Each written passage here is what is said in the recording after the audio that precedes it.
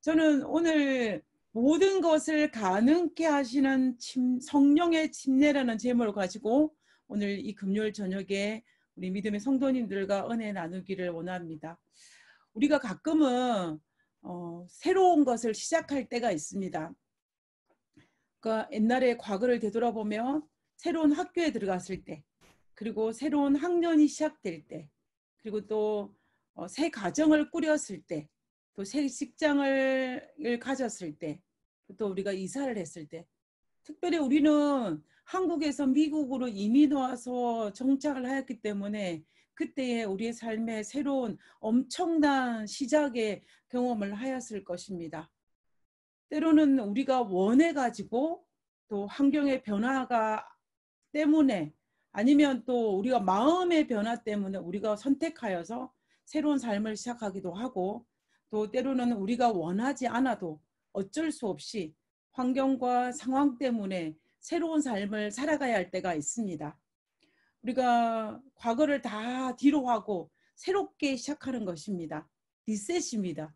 제가 이 리셋이란 단어를 굉장히 좋아하는데요. 지난 과거를 다 뒤로 하고 새롭게 시작하는 것입니다. 저는 개인적으로 이 코비드 19이라는 이 상황으로 인하여 이 장기간 우리가 자택 격리나 자가 격리로 인하여 공적인 예배를 이렇게 오랫동안 드리지 못할 상황이 발생할 거라고는 제가 미리 생각하지 못했습니다. 저는 이런 일들은 아마 일요일 휴업령이 내리고 예수님 재림하기 직전에 칠재앙이 내릴 때 그때나 가능하게 되는 일인 줄 알았어요.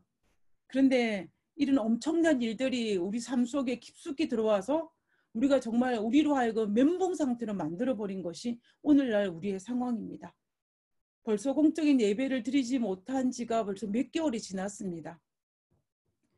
우리는 이런 상황 속에서 아무리 부인한다 할지라도 이 작은 코로나 바이러스가 우리의 일상생활의 삶들을 무너뜨린 것은 사실입니다.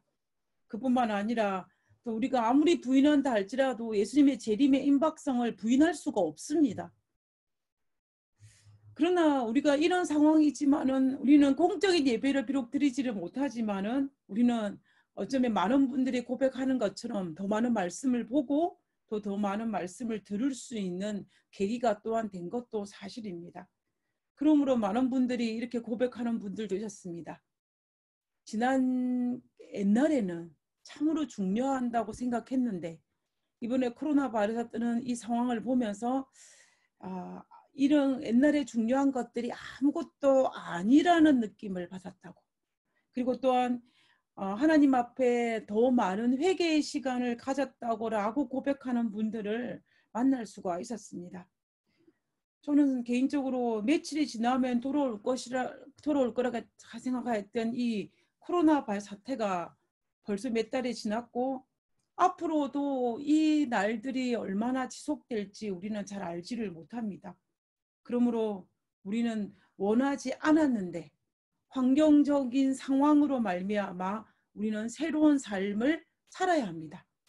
그 또한 그뿐만 아니라 우리의 자발적으로 우리의 선택에 의해서 지난날 과거에 좋지 않은 것들을 다 접고 새롭게 시작하면서 살아가야 할 시기가 오늘 우리가 처해 있는 이 상황입니다. 그리고 이 특별히 이 네팍 교회에는 새로운 목회자가 또 등장을 하였고 또 교회는 여러 가지 환경적 요인에 의해서 또 사회와 이런 여러 가지 요인, 들에 의해서 새롭게 시작할 시기입니다.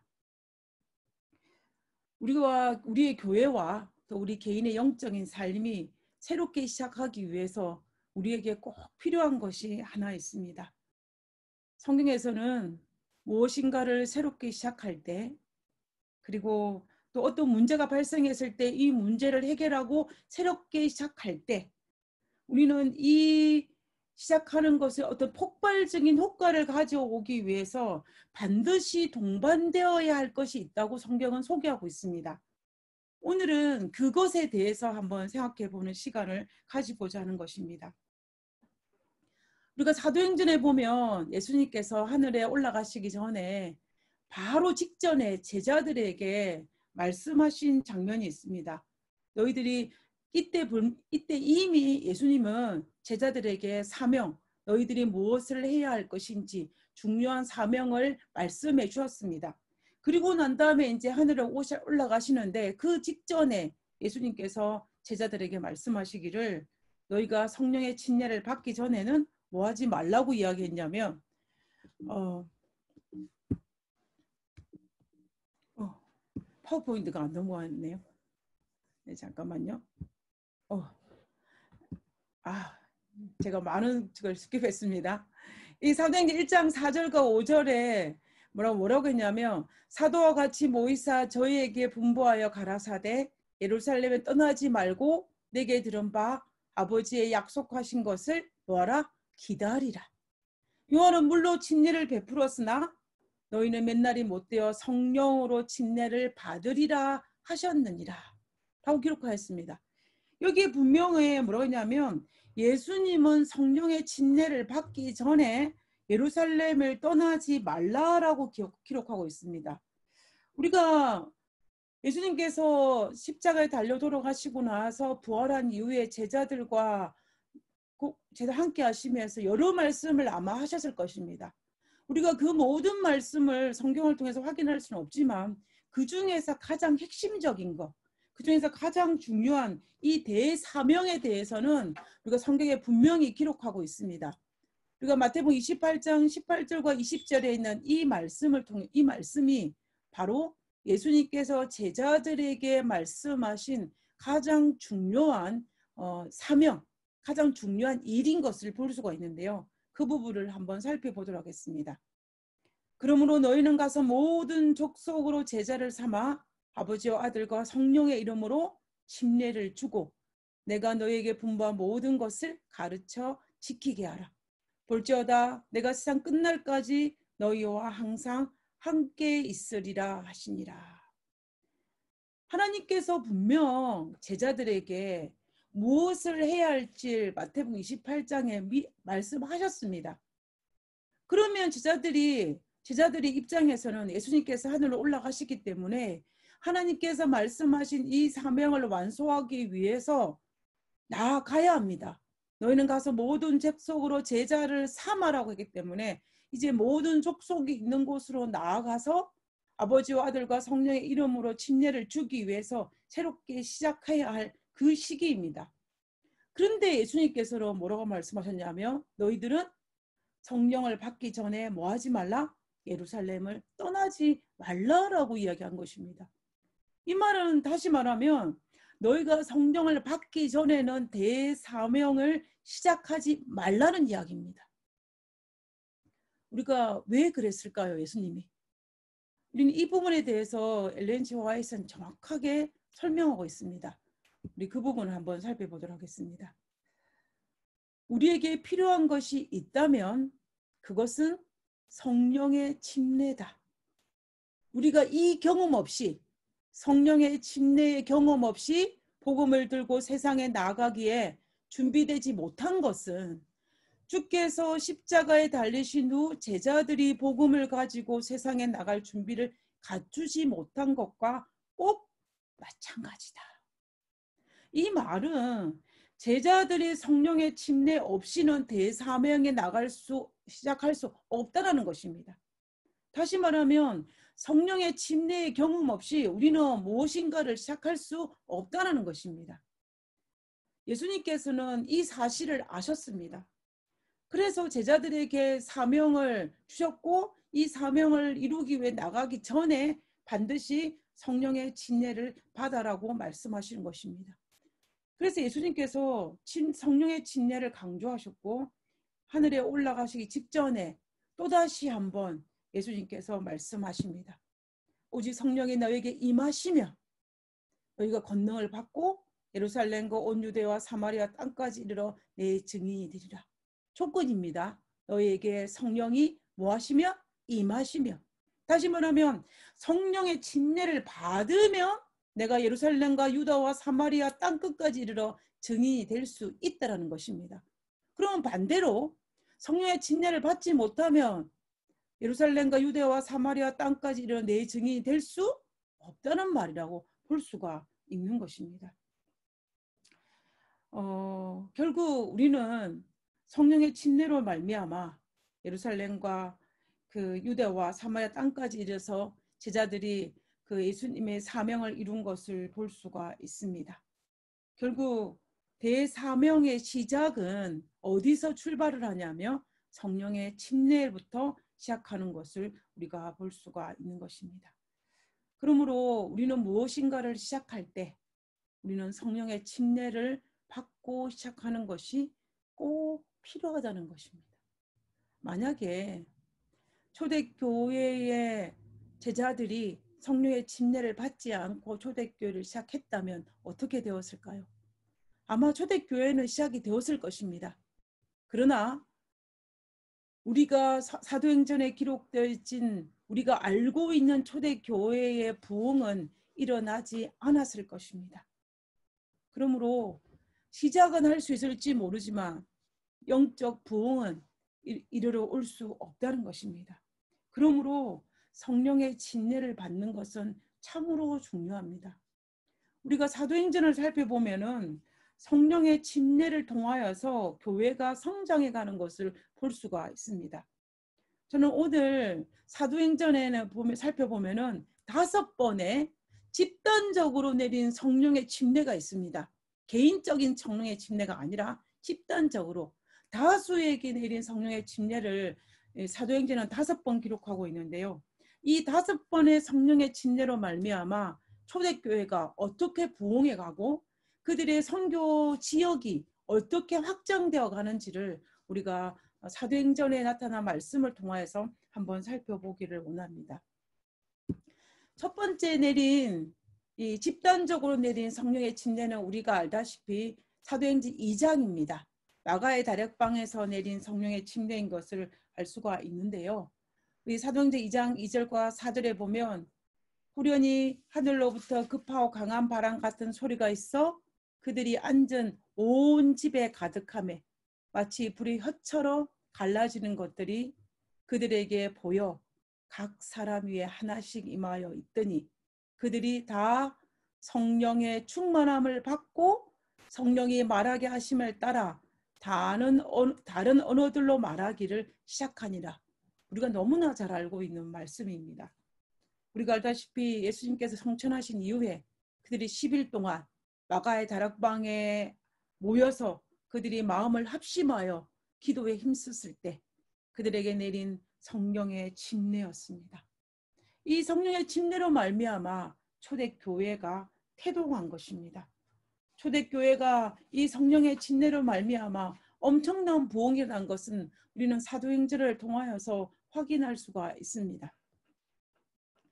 그러므로 우리가 무엇인가를 시작할 때 마가의 다락방에 모인 사람들처럼 참된 회개와 마음을 같이 하는 열렬한 기도와 교제와 연합을 통하여서 우리가 성령의 침례를 받고 시작할 때에 우리는 우리가 기대하지도 못했던 상상하지도 못했던 놀라운 변화가 그들에게 임할 것입니다.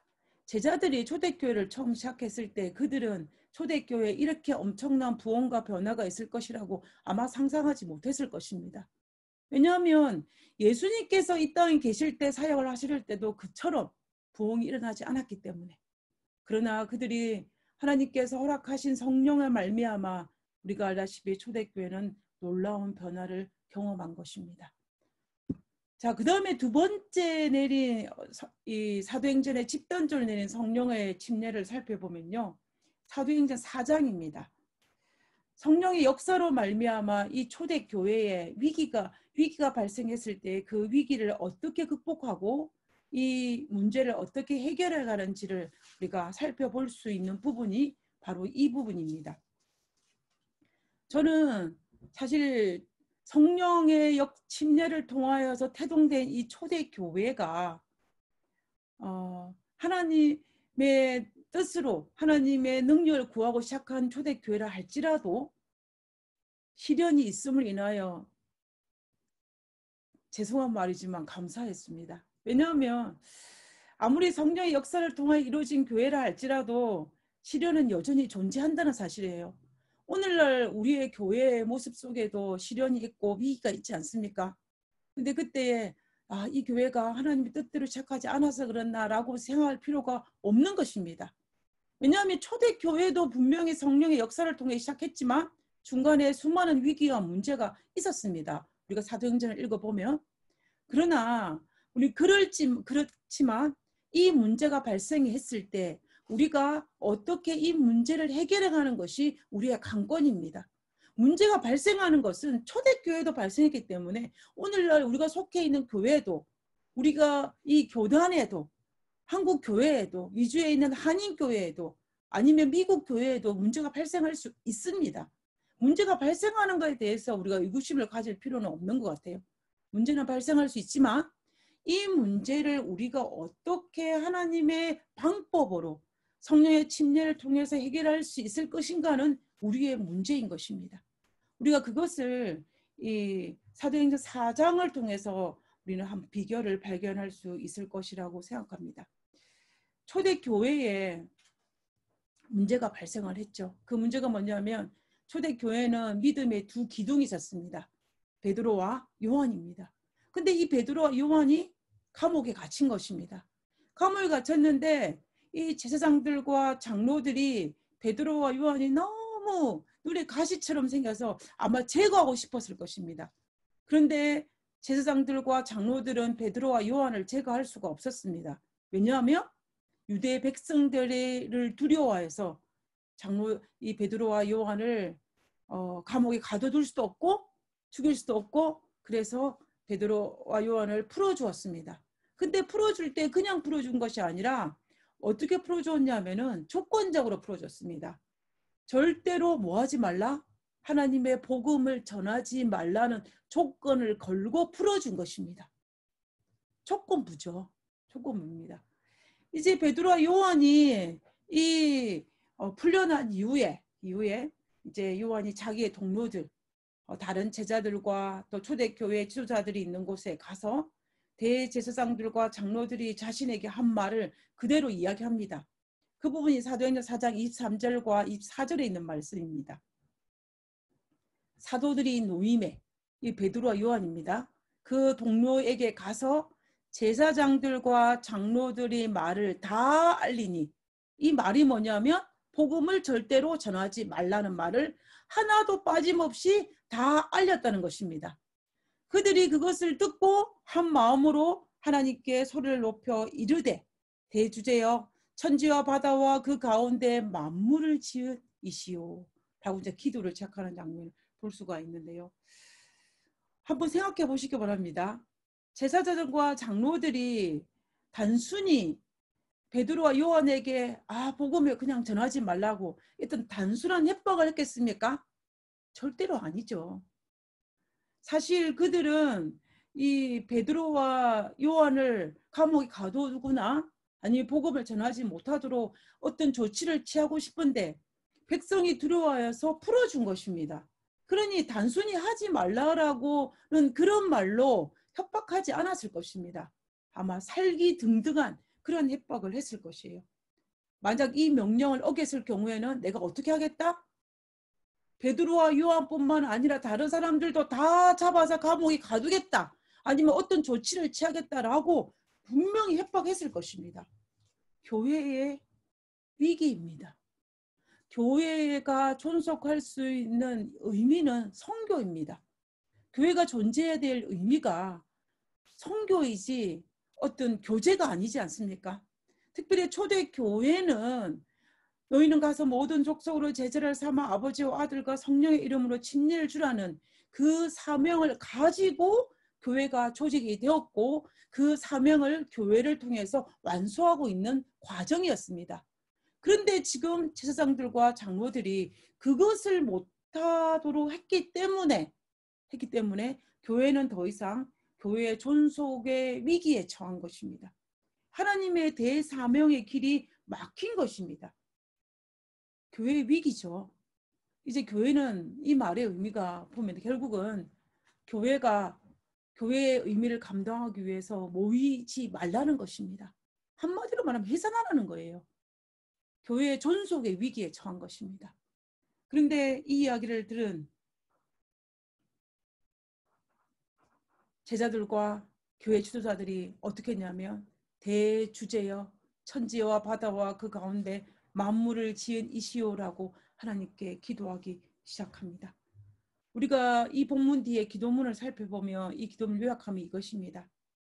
비록 제사장들과 장로들이 하나님의 말씀을 전하지 못하게 막는다고 할지라도 하나님의 말씀을 담대히 전할 수 있는 믿음을 달라고 기도합니다. 그들이. 그런데 그 기도를 기도를 하고 그 기도를 마쳤을 때 사도행사장 31절에 뭐라고 이야기했냐면 빌기를 다음에 기도를 마침에 모인 곳에 진동하더니 무엇이 내렸냐면 우리가 다, 다 성령이 충만하여 성령의 침례를 받은 것입니다. 그 다음에 또 중요합니다. 그 성령의 침례를 받고 난 다음에 담대히 무엇을 하더라? 하나님의 말씀을 전하니라. 하나님 말씀을 전했다는 것입니다. 그들이 비록 그들이 협박을 받는다 할지라도 하나님의 말씀을 담대히 전하게 해달라고 기도하였고 그 기도의 응답으로 담대히 하나님 말씀을 전했다라고 이야기하고 있는 것을 볼 수가 있는 것입니다. 교회의 존폐 위기에 처했는데 성령의 침례로 말미암아 오히려 더 큰 믿음을 가지고 담대히 하나님 말씀을 전했다는 것입니다.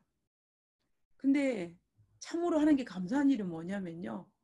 우리가 초대 교회를 상징주로 드러난 성경절이 있습니다. 그 절이 뭐냐면 우리가 아는 것처럼 믿는 무리가 한 마음 한 뜻이 되어 또 모든 물건을 서로 통용하며 자기 물건을 제, 제 것이라 하는 자가 아무도 없다는 그 성경 구절이 바로 사도행전 4장 31절 다음인 32절이 여기에 등장하는 것입니다. 그러니까 결과적으로 뭐냐면 교회에 엄청난 위기가 왔었는데 그 위기를 하나님께 기도함으로 성령의 침례를 받음을 통하여서 그들이 담대히 하나님께 복음을 전했을 때 그때의 초대 교회의 어떤 한 상징적인 모습이라 볼 수 있는 이 모습이 재현된 것입니다. 결국 성, 결국 이 말은 초대교회의 위기가 성령의 침례를 말미암아 완벽하게 극복되었다는 것을 우리가 살펴볼 수 있는 것입니다. 결국 우리는 사도행전 2장을 통해서 초대교회가 태동을 하였고 그리고 사도행전 4장을 위해서 교회의 위기에 그 위기를 극복하고 더욱더 아름다운 모습으로 교회가 성장해 가는 것을 볼 수가 있는 것입니다. 하나님의 성령의 침례를 통해서 교회는 더욱더 아름다운 모습으로 부흥 성장할 수 있다는 사실을 우리는 확인할 수 있는 부분입니다. 그러므로 우리 내팍 교회도 마지막 시대에 하나님의 새 천사의 기별을 전하는 이 대의 사명을 완수하기 위해서는 성령의 침례가 필요합니다. 그리고 우리 내팍 교회가 마지막 시대에 하나님의 남은 교회의 사명을 감당하기 위해서도 반드시 성령의 침례가 필요하다는 것입니다. 그러므로 우리는 사단의 방해 없이 하나님의 뜻대로 네파 교회를 이루기 위해서는 하나님의 성령이 필요하고 또 우리 교회의 당면한 시련을 극복하기 위해서도 반드시 필요한 것은 성령의 침례라는 것입니다. 자, 그러면 이제 사도행전에 나타난 세 번째 어, 집단적으로 내린 이 성령의 침례에 대해서 한번 살펴보기를 원합니다. 사도행전 8장에 나타나 있는 말씀인데요. 이 사도행전 8장을 통해서 우리는 어, 개척교회, 특히 사마리아 교회에 내린 성령의 모습을 한번 살펴보도록 하겠습니다. 어, 사도행전 8장에 보면은 초대교회 집사였던 빌립이 사마리아에 사마리아에 가서 이제 전도를 해서 교회를 개척하였습니다. 그리고 이 사도행전 8장 12절에 보면 이 빌립이 성령의 침 성령의 인도하심으로 그들을 그리스도를 영접한 그들에게 물침례를 우리의 침례를 베풀었던 것을 우리가 확인할 수가 있는데요. 이 소식을 들은 어, 이 예루살렘에 있는 이 예루살렘 교회에서 베드로와 요한을 파송을 합니다. 그래서 베드로와 요한이 이 개척교회 사마리아 교회에 꼭 필요한 이 성령의 침례를 받기 위해서 기도하고 있는 것을 볼 수가 있는데요. 이 두 사도 베드로와 요한이 이 사마리아 교회를 위한 위해서 오직 한 가지 목적 성령의 침례를 받기 위해서 기도하는 모습을 우리는 사도행전 8장 14절에서 17절에 있는 말씀을 통해서 확인할 수가 있습니다. 그 부분을 한번 읽어보도록 하겠습니다. 예루살렘에 있는 사도들이 사마리아도 하나님의 말씀을 받았다 함을 듣고 베드로와 요한을 보내매 그들이 내려와서 저희를 위하여 성령 받기를 기도하니 그들이 사마리아 와서 기도한 목 기도의 기도 제목이 뭐냐며 성령 받기를 기도하니 이는 아직 한 사람에게도 성령 내리신 일이 없고 오직 주 예수 이름으로 침례만 받을 뿐이더라. 이에 두 사도가 저희에게 안수함에 성령을 받는지라. 여기에 분명히 베드로와 요한이 그들을 위해서 기도를 하였고 그들에게 성령이 내렸다라고 기록하고 있습니다. 그리고 그들은 그 성령을 받았다라고 이야기하고 있습니다. 개척교회였던 사마리아 교회에 꼭 필요한 것은 무엇이었냐면 성령의 침례였던 것입니다. 그래서 사마리아 교회는 부흥 성장할 수가 있었습니다. 이제 그 다음에 이 사도행전 10장에 보면은 또 집단적으로 내린 성령의 침례가 있었습니다. 이것은 이방인에게 내린 성령의 침례였습니다. 물론 사마리아인들도 정통 유대인은 아니었지만 이 사도행전 10장에는 정말로 완전한 이방인이었던 이들에게 내린 성령의 침례였습니다. 우리가 이 부분은 어, 교회의 성교 사역이 확장되기 이런 부분을 모습을 살펴볼 수 있는 것인데요. 하나님께서 성교의 지경, 성교의 확장을 할 때에도 성령의 침례가 필요함을 우리가 볼 수 있는 부분입니다. 어, 이방인 백부장 고넬료가 천사의 지시를 받고 베드로를 초대했습니다. 우리가 알다시피 그때 베드로 고넬료가 자기만 베드로의 설교를 듣기고자 하지 않고 흩어져 있는 자기 가족들을 다 불러 모아놓고 베드로를 초청하여서 베드로에게 하나님의 말씀을 들었습니다. 그때에 이방인 고넬료와 그의 가족들에게 성령이 내렸다라고 기록하고 있습니다. 사도행전 10장 44절과 46절에 있는 말씀입니다. 베드로가 이 말을 할 때에 성령이 말씀 듣는 모든 사람, 이 모든 사람은 고넬료와 그의 가족들입니다. 이방인이죠. 사람들에게 내려오시니 베드로와 함께 온 할례 받은 신자들이 이방인에게도 성령 부으심으로 말미암아 논란이 이런 방언으로 말하며 하나님 높임을 들음이었더라. 이방인에게 내린 성령으로 말미암아 하나님께서 유대인뿐만 아니라 이방인에게도 하나님을 믿기로 결심한 사람들에게 하나님의 성령이 임하는 것을 그들이 볼 수가 있었습니다.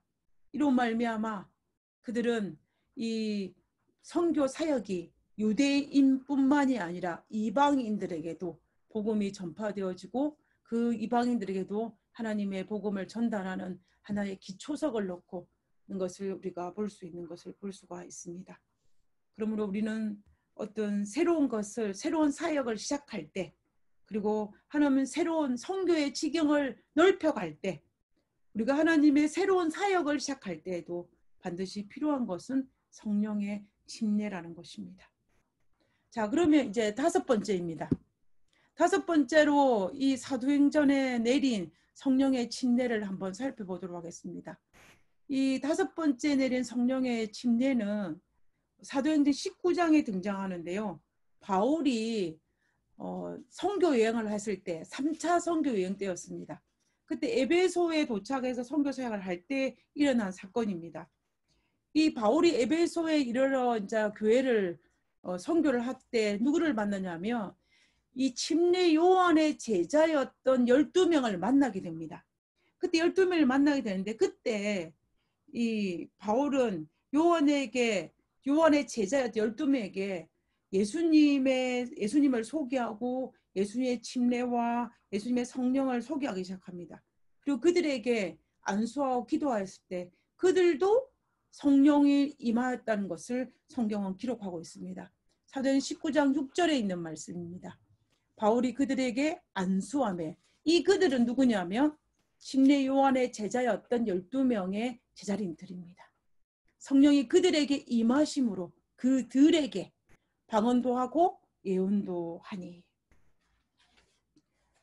에베소 교회에서 요한의 제자 12명에게 내린 성령 강림으로 성령의 침례로 말미암아 에베소 교회는 부흥성장하였습니다. 우리가 그것을 어떻게 알 수 있느냐 하면요. 에베소 교회는 소아시아 교회의 어머니 교회입니다. 우리가 요한계시록에 살펴보면 요한계시록의 전반부에 일곱 교회에 보내는 편지서가 등장하는데요. 그때 일곱 교회 중에서 이 에베소 교회는 바로 어, 초, 이 일곱 교회의 소아시아 교회의 어머니 교회입니다. 침례 이 예수님의 제자 요한이 사역한 곳이 바로 이 에베소입니다. 그리고 예수님의 육신의 어머니였던 마리아가 예루살렘에 피난 가가지고 마지막으로 봉사했던 교회 또한 이 에베소 교회입니다. 어떤 전성에 의하면 결국 에베소 교회는 이 12명이 집단적으로 성령의 침례를 받음으로 말미암아 이들의 활동으로 소아시아 교회에서 가장 튼튼한 어머니 교회로 성장할 수 있었다는 것입니다. 복음을 전한 침례 요한이 성령의 침례를 받고 그리고 그 교회의 교우인 에베소 교회 교회였던 12명이 침례를 받음으로 그들의 활동으로 말미암아 에베소 교회가 태동하고 성장해 갔으니 얼마나 에베소 교회가 어, 튼튼한 교회로 성장해 갔겠습니까? 우리는 이 모든 사실을 살펴볼 때에 모든 문제의 해답은 성령입니다. 사도행전에 내린 성령으로 초대교회가 시작이 되었고 그리고 사도행전에 내린 성령의 침례로 말미암아 초대교회 문제가 해결이 되었고 개척교회가 시작이 되고 성교의 지경이 넓혀지고 그리고 성령의 침례를 말미암아 교회가 붕 성장했다는 것은 우리는 성령의 집단적으로 내린 그 성령의 사역의 그 이후의 결과를 통해서 확인할 수가 있습니다. 그러면 이 동일한 성령이 새롭게 시작하는 우리 교회에 영적 부흥이 필요한 우리 교회와 우리의 가정과 우리 개인의 삶에 분명히 놀라운 변화를 일으켜 주실 것입니다. 저희들이 아직 COVID 19으로 제가 모든 교인들을 다 뵙지는 못했지만 제가 몇 분을 만나면서 제 마음속에 굉장히 뭐라 그럴까요? 희망적인 그런 어떤 exciting한 마음이 있습니다. 그 이유는 뭐냐면 제가 몇 분을 만나보지 못했지만 그분들이 그 그분들이 가지고 있는 생각, 신앙의 모습들을 살펴보면서 제가 그 어떤 누구보다도 교회를 사랑하고 또 그 어떤 누구보다도 하나님을 사랑하고 하나님의 교회를 하나님의 뜻을 또 하나님께서 허락하신 사명을 완수하고 싶은 그 갈망들이 정말 그 어느 누구보다도 강하다는 것입니다. 저는 이 모습을 살펴볼 때에 하나님께서 분명히 우리에게 성령의 역사를 통해서 이 교회는 놀라운 변화를 일으킬 수 있을 것이라고 확신합니다. 우리 사랑하는 네파교회 여러분, 마가의 다락방에 모인 제자들과 그리고 200명의 사람들은 누구보다도 예수님을 사랑하는 사람들이었습니다. 그거 인정하시죠? 그러면 우리도 누구보다도 하나님을 사랑하고 또 하나님께서 우리에게 주신 이 교회를 사랑하는 사람입니다. 그렇다면 분명히 하나님께서는 초대교회의 성령을 통해서 초대교회가 이렇게 부흥했던 것처럼 우리도 하나님의 성령의 체험을 통하여서 이 넷박교회는 놀라운 변화를 우리가 미처 생각하지도 못하고 기대하지도 못했던 놀라운 변화를 분명히 일으킬 것입니다. 그러면 정말 하나님께서 이 교회에 놀라운 영적 부흥과 영적 결실을 허락하실 것이라고 저는 확신합니다. 저는 이 부분에 대해서 어, 정말 이 하나님의 성령을 통해서 변화된 이, 이 단순한 원리지만 이 성경의 말씀은 완벽한 이 원리가 정말로 확실하다고 저는 확신합니다. 문제는 우리가 성령을 받느냐 받지 않느냐의 문제이지 교회가 부흥하느냐 부흥하지 않느냐는 문제가 되지 않는다는 것입니다. 우리가 성령의 침례를 받기만 하며 개인이 우리 전체가 부흥은 자동적으로 따라오는 것입니다.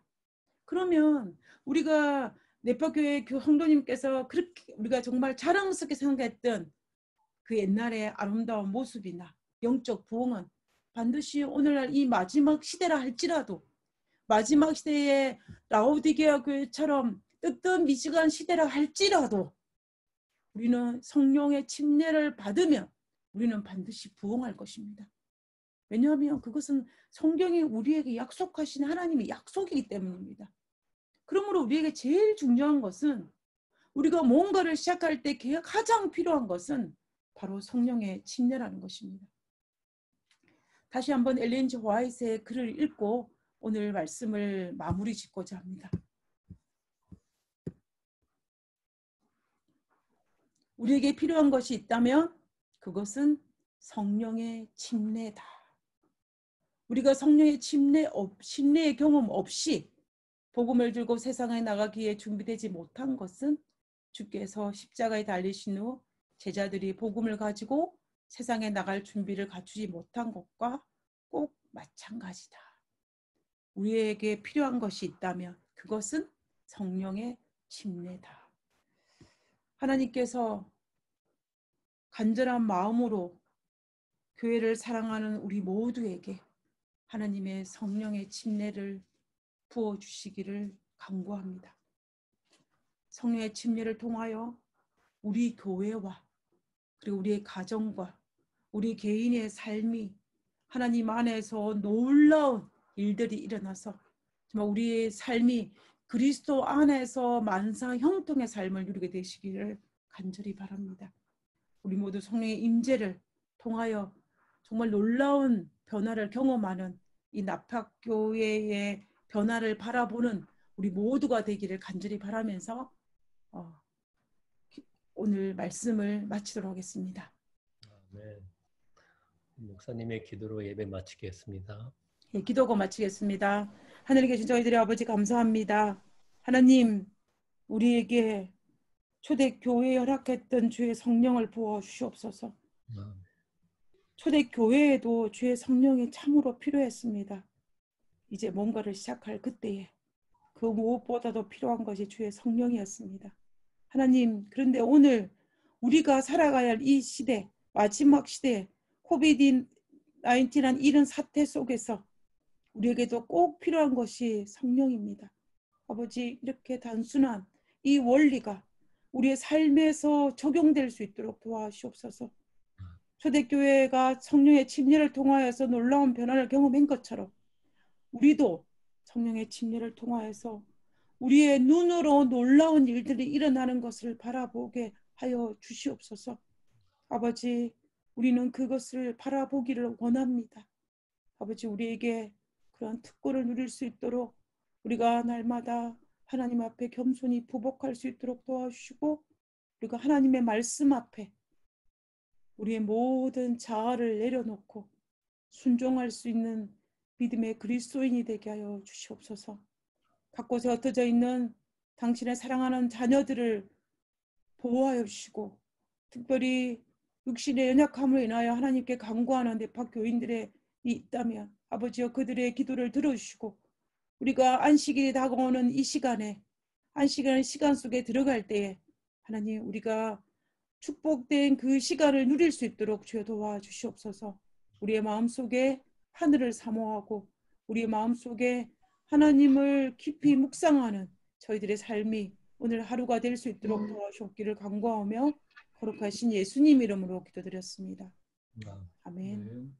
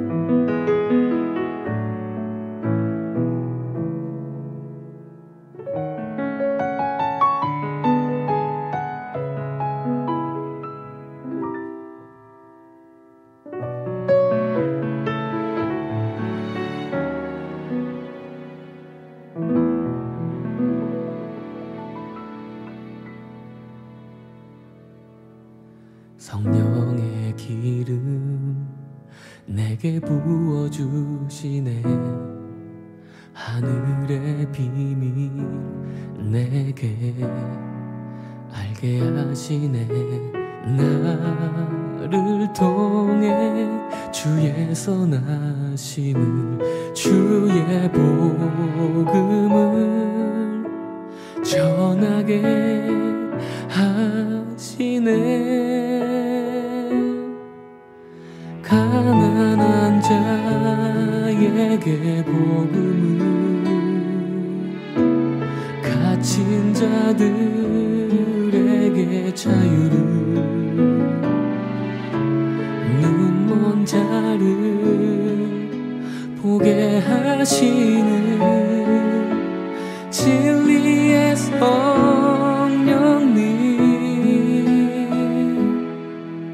내 안에 참 소망 진리가 되신 분 내 안에 성령의 기름 부사 가난한 자에게 복음을 눈먼 자에게 보게 하심을 내 길이 되시며 인도자 되시는 진리의 성령이 함께 하시네. 나 기뻐 주를 노래하네.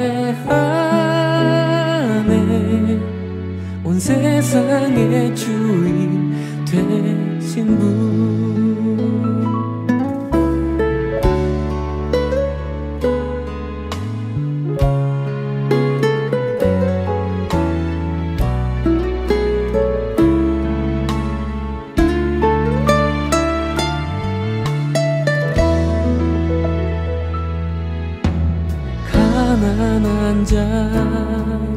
자에게 복음을. 갇힌 자들에게 자유를